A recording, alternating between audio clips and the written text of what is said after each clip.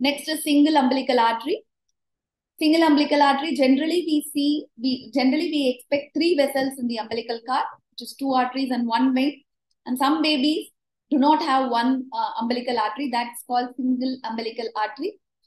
Uh, it can be either the right or the left, which could be absent in these babies. What we are worried about these babies is like whether the baby could have a chromosomal abnormality. And if we are able to rule out other systemic abnormalities, and if we are reasonably sure that all the other organs are normal, and if the uh, aneuploidy screening suggests low risk for uh, uh, chromosomal problems, then we are reasonably safe and we encourage these parents to come for a follow-up.